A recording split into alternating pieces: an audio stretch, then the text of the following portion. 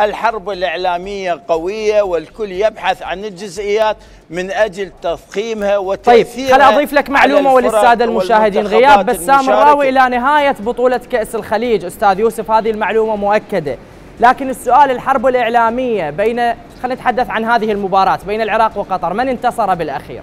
إعلاميا. انتصر الإعلام العراقي المدرب العراقي لاعبين الدوري المحلي يعني مثل ما يعرف الجمهور والكابتن حيدر محمود بأن المباراة الأولى لها طعم خاص خاصة إذا كانت هي المباراة الافتتاحية لبطولة آه، تحظى بمتابعة جماهيرية كبيرة بضغط إعلامي كثير من الأمور التي تتدخل في هذه المباريات وخاصة المباراة بين العراق وقطر العراق والسعودية.